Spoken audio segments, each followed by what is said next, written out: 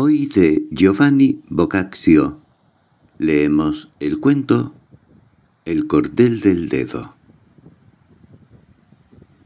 La tranquila vida de estudioso que Boccaccio llevaba en Florencia fue interrumpida bruscamente por la visita del monje sienés Giovacchino Glani, quien le recomendó abandonar la literatura y los argumentos profanos.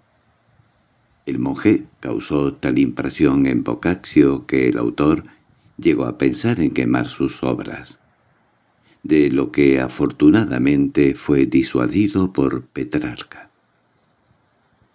Ahora damos comienzo a este cuento. Espero que te guste. El cordel del dedo. Un cuento de Giovanni Boccaccio. En nuestra ciudad hubo un riquísimo mercader llamado Arriguccio Berfingieri, el cual neciamente, tal como ahora hacen cada día los mercaderes, pensó en ofrecerse por su mujer y tomó a una joven señora noble, que al final le convenía, cuyo nombre fue doña Sismonda, la cual, porque él, tal como hacen los mercaderes, andaba mucho de viaje y poco estaba con ella, se enamoró de un joven llamado Roberto que largamente le había cortejado. Y habiendo llegado a tener intimidad con él, y teniéndola menos discretamente porque sumamente le deleitaba, sucedió o porque a Rigucho oyese algo o como quien quiera que fuese, que se hizo el hombre más celoso del mundo y dejó de ir de viaje y todos sus demás negocios y toda su solicitud la había puesto en guardear bien a aquella. Y nunca se hubiera dormido, si no la hubiese sentido antes meterse en la cama, por lo cual la mujer sintió grandísimo dolor, porque de ninguna manera podía estar con su Roberto. Pero habiendo dedicado muchos pensamientos a encontrar algún modo de estar con él, y siendo también muy solicitada por él, le vino el pensamiento de hacer de esta manera, que como fuese que su alcoba daba a la calle y ella se había dado cuenta muchas veces de que a Rigucho le costaba mucho dormirse, pero que después dormía profundamente, ideó hacer venir a Roberto a la puerta de su casa a medianoche e ir a abrirle y estarse con él mientras su marido dormía profundamente. Y para sentir ella, cuando llegaba de manera que nadie se apercibiese, inventó echar una cuerdecita fuera de la ventana de la alcoba que por uno de los extremos llegase cerca del suelo y el otro extremo bajarlo hasta el pavimento y llevarlo hasta su cama, y meterlo bajo las ropas. Y cuando ella estuviese en la cama, atárselo al dedo gordo del pie, y luego, mandando decir esto a Roberto, le ordenó que, cuando viniera, tirase de la cuerda y ella, si su marido dormía, lo soltaría e iría a abrirle. Lo cogería y lo tiraría hacia sí a fin de que él no esperase. Esta cosa agradó a Roberto, y habiendo ido muchas veces, alguna le sucedió estar con ella y alguna no. Por último, continuando con este artificio de esta manera, sucedió una noche que, durmiendo la señora y estirando a Ricucho a pie por la cama, dio con este cordel, por lo que Llevando a él la mano y encontrándolo atado a pie de su mujer, se dijo a sí mismo. Por cierto que esto debe ser algún engaño. Y dándose cuenta luego de que el cordel salía por la ventana lo tuvo por cierto, por lo que cortándolo, quedamente del dedo de la mujer lo ató al suyo, y estuvo atento para ver qué quería decir esto. No mucho después vino Roberto, y tirando del cordel como acostumbraba, Arrigucho lo sintió, y no habiendo sabido atárselo bien, y habiendo Roberto tirado fuertemente, y habiéndose quedado con el cordel en la mano, entendió que debía esperar y así lo hizo. Arrigucho, levantándose prestamente y cogiendo sus armas, corrió a la puerta para ver quién era aquel y para hacerle daño. Ahora Arrigucho era, aunque fuese mercader, un hombre fiero y fuerte y llegando a la puerta y no abriéndola suavemente como solía hacer la mujer, y Roberto, que esperaba, lo sintió. Se dio cuenta de quién era, es decir, que quien abría la puerta era Arrigucho, por lo que prestamente comenzó a huir, y Arrigucho a perseguirlo, hasta que por fin Habiendo Roberto huido un gran trecho y no cesando él de seguirlo, estando también Roberto armado, sacó la espada y se volvió hacia él, y comenzaron el uno a querer herir al otro y a defenderse. La mujer, al abrir a Rigucho la alcoba, se despertó y encontrándose cortado el cordel del dedo, al instante se dio cuenta de que su engaño estaba descubierto y sintiendo que Rigucho había corrido tras Roberto, se levantó rápidamente dándose cuenta de lo que podía suceder.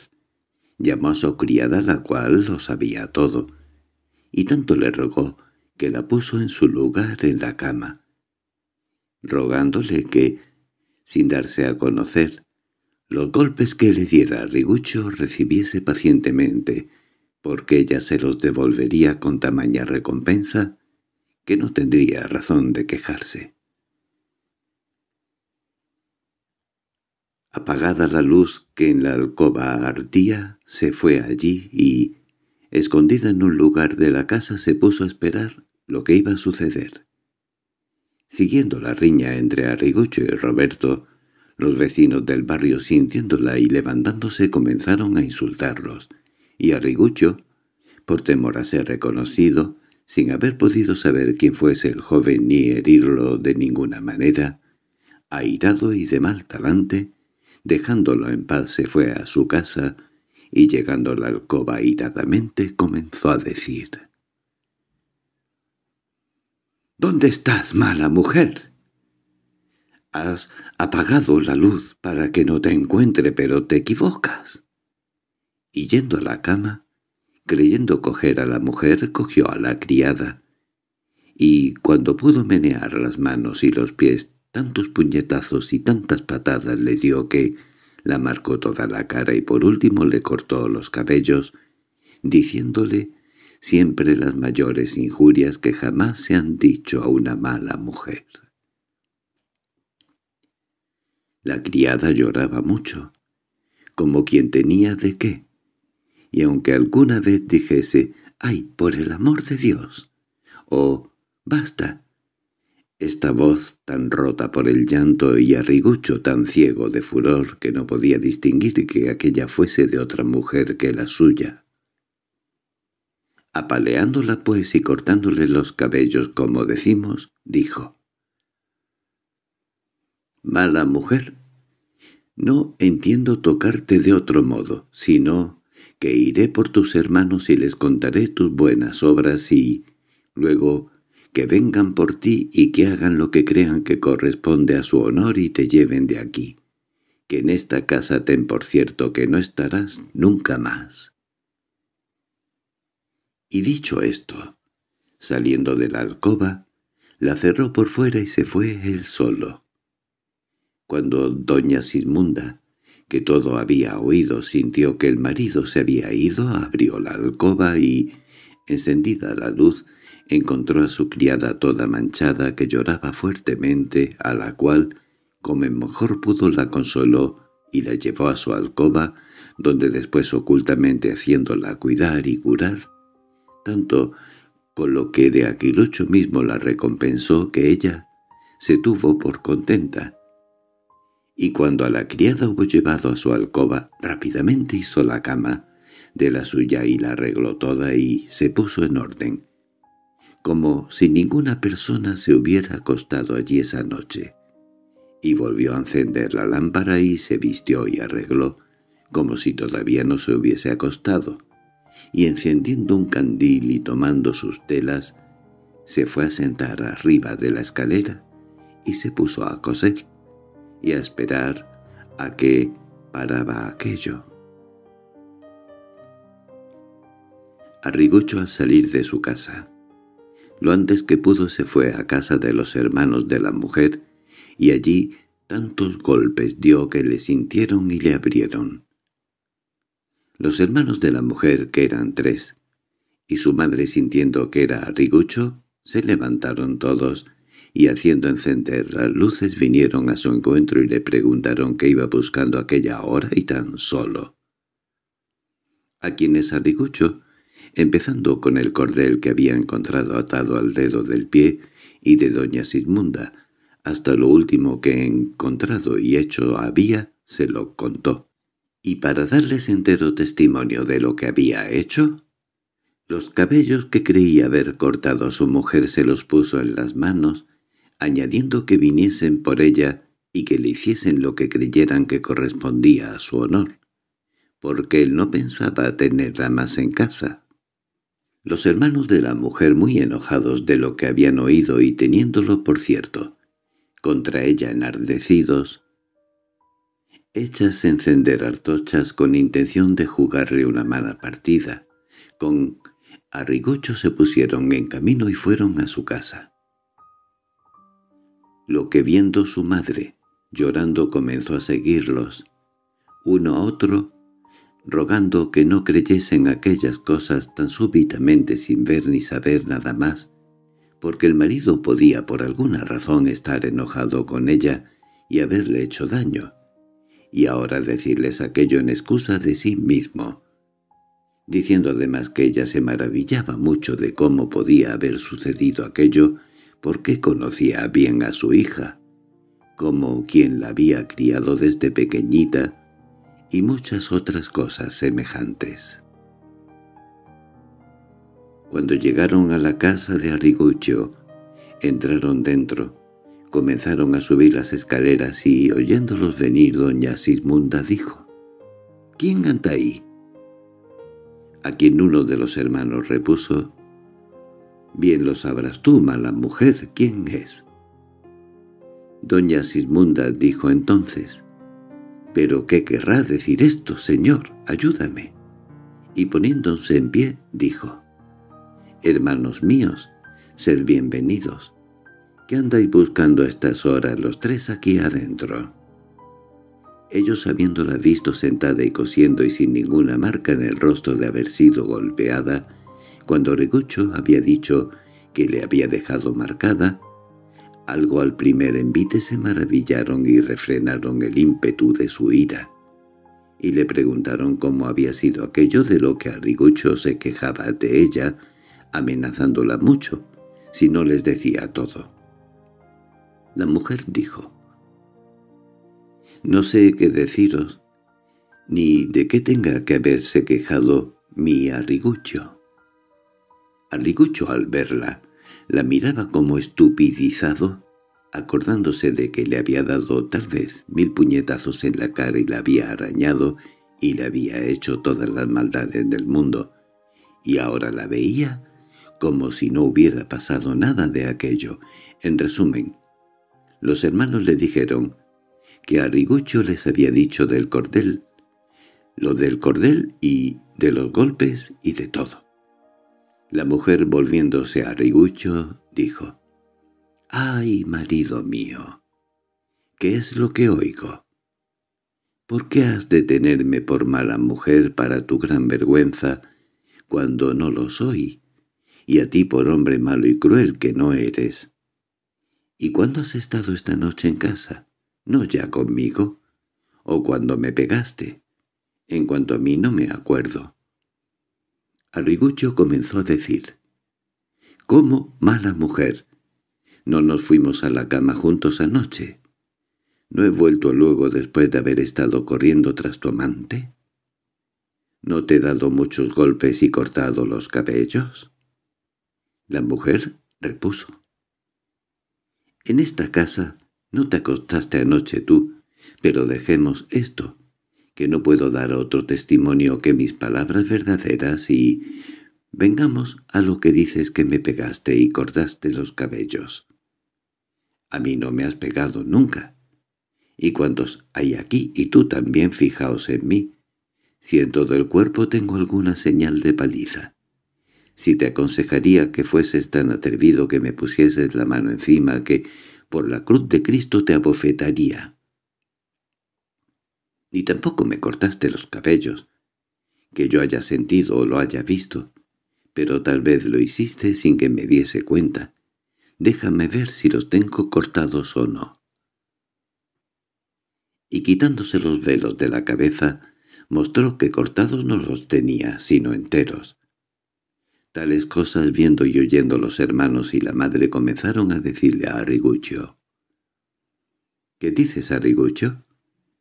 Esto no es ya lo que nos viniste a decir que habías hecho, y no sabemos cómo puedes probar lo que queda.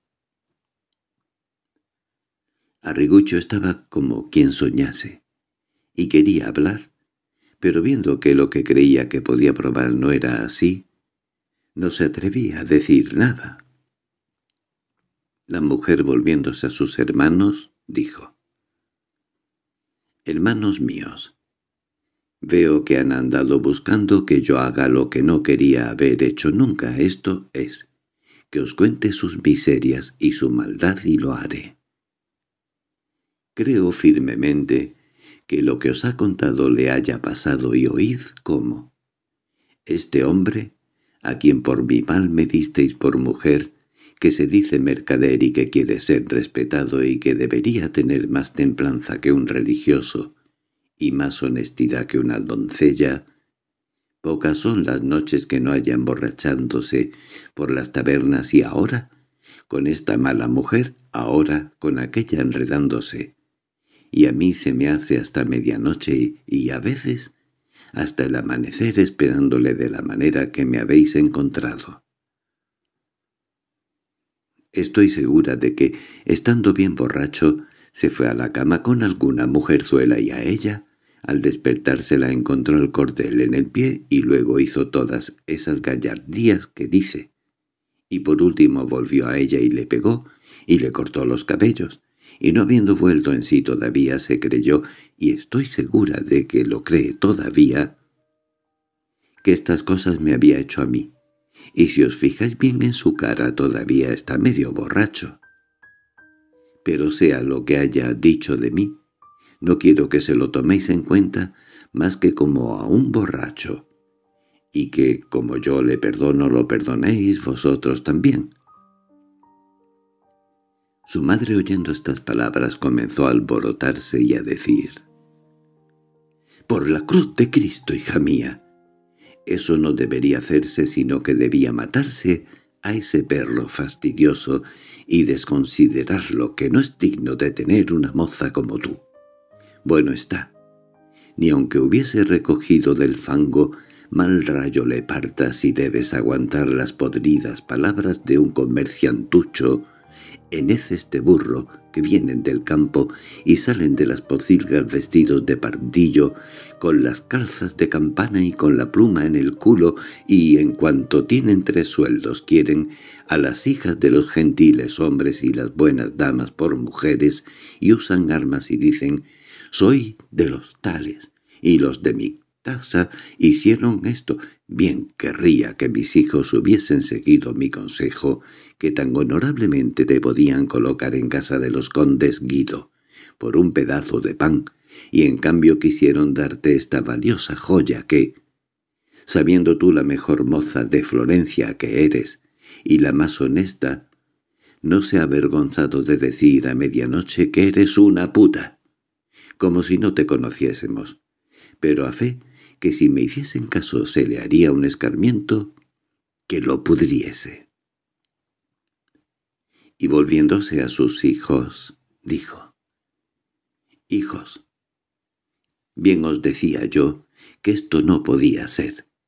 ¿Habéis oído cómo vuestro cuñado trata a vuestra hermana, ese comerciantucho de cuarto que si yo fuese vosotros, habiéndolo dicho lo que ha dicho de ella y haciendo lo que hace, no estaría contenta ni satisfecha mientras no lo hubiera quitado de medio.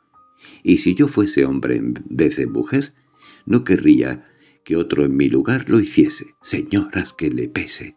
Borracho asqueroso que no tiene vergüenza. Los jóvenes vistas y oídas estas cosas se volvieron a Arrigucho. Le dijeron las mayores injurias que nunca se le han dicho a ningún malvado y por último dijeron «Te perdonamos esta porque estás borracho, pero cuida de que en toda tu vida de aquí en adelante no oigamos más noticias de estas. Que si alguna nos viene a los oídos, por cierto que nos las pagarás por esta y por aquella». Y dicho esto, se fueron. Arrigucho que se quedó como estúpido, no sabiendo él mismo si lo que había hecho era verdad o si lo había soñado, sin decir una palabra más dejó a su mujer en paz, la cual no solamente con su sagacidad escapó al peligro inminente, sino que se abrió el camino para poder hacer en el tiempo por venir todos sus gustos sin tener miedo al marido nunca más. Fin